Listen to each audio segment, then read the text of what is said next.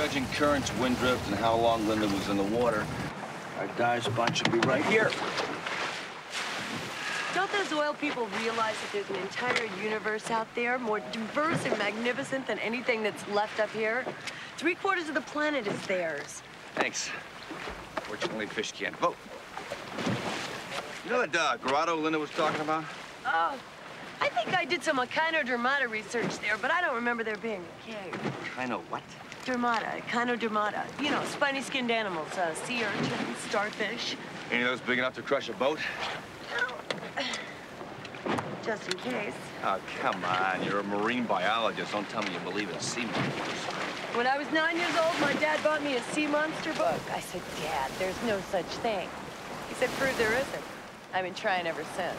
I haven't yet.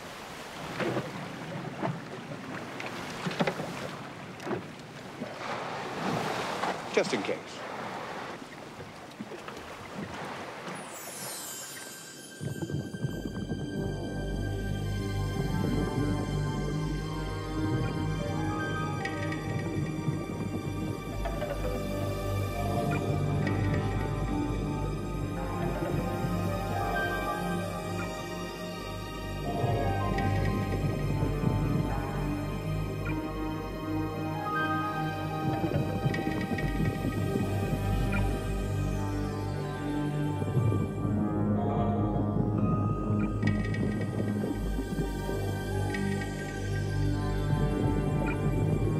嗯。